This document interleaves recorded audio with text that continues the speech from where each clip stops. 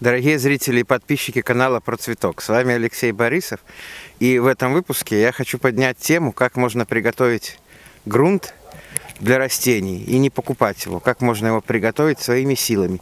Я сейчас, вот у нас тут ручей, сейчас я его покажу. Вот, и речной песочек перемытый.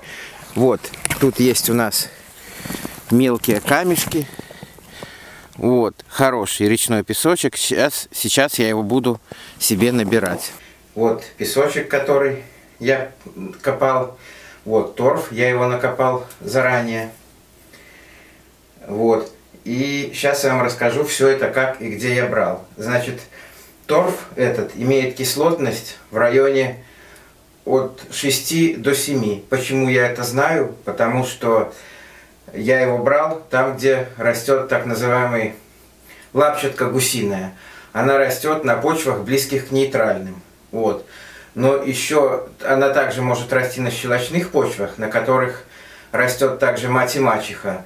Вот. Но мать, и мачеха, где растет, она уже на сильно щелочных, поэтому там брать нельзя.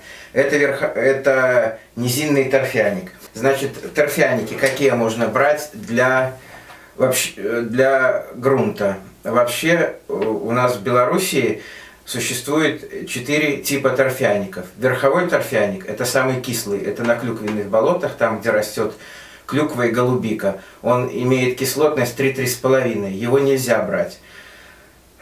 Потом э, есть низинные, низинные торфяники. Это торфяники, которые э, имеют грунтовое питание. Вот, верховой торфяник грунтового питания не имеет, он имеет только поверхностное при помощи дождя. Вот. И есть также еще пойменные торфяники. Это торфяники, которые сформировались в пойме различных рек. Обычно они формируются около коренного берега, около берега так называемого.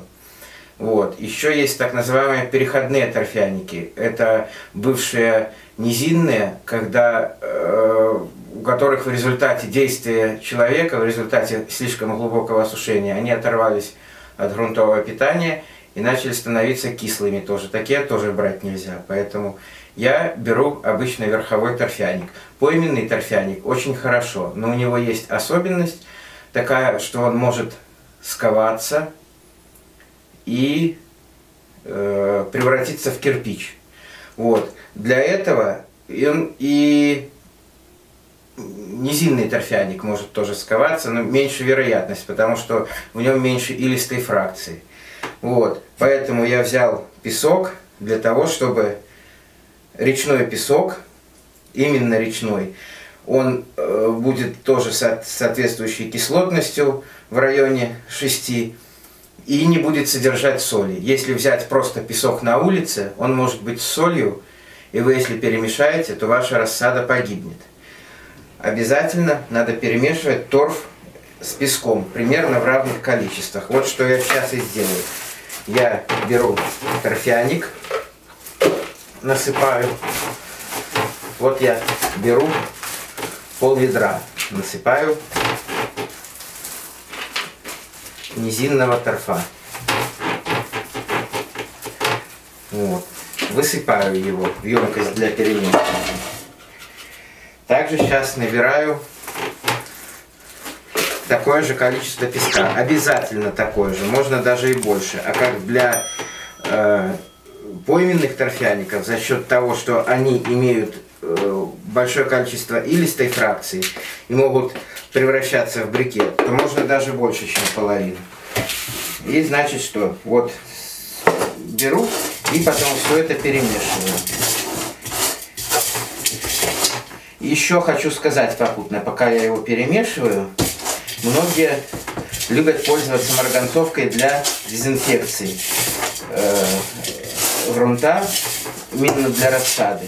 Но я вас хочу огорчить, что марганцовка дезинфекцию не делает. Она является только микроэлемент, содержит, содержит микроэлемент марганец. Вот, так как для того, чтобы она обеззаразила почву, это надо буквально ее посыпать. Но если вы так сделаете, у вас ничего расти не будет на этой почве. Вот. А марганцовка, она работает по принципу перекиси водорода. То есть обе они выделяют атомарный кислород, который является дезинфектором. Продезинфицировать им можно рану, но ни в коем случае никак не почву. Вот, вот у нас получилась вот такая вот смесь песка и торфа. Вот эту вот смесь мы будем использовать для посева семян томатов. Почему в этот торф я ничего не добавляю? Именно в низинный торфяник, на котором растет вот эта лапщатка гусиная. Это торф, который содержит массу питательных веществ, которых будет предостаточно для того, чтобы выросла у вас хорошая рассада. Поэтому я его просто перемешиваю с крупнозернистым песком. Желательно, чтобы там камешки содержались, чтобы э, корни закаливались. Э, можно еще единственное добавлять, если боитесь то, что у вас будет залив, потоп в рассаде, то можете добавлять на дно вермикулит, ну или другой дренаж, чтобы ну, немножко был больший дренаж. Я не добавлял, у меня было все прекрасно и все хорошо росло. Почему его можно не обеззараживать? Вы скажете, что в, в этих пакетах грунт обеззараженный. Потому что э, тех болезней, которые есть на вашем огороде, их попросту нет в этом торфе, который вы набрали возле речки, потому что там не растут растения с огорода. Вот. А микробы и грибы, они, как правило, специфические, и они живут там, где есть их хозяин. То есть э, я по такому принципу. Я его никогда не обеззараживал, и на нем все росло прекрасно. Все, с вами был Алексей Борисов. Спасибо за внимание. Удачных вам посевов.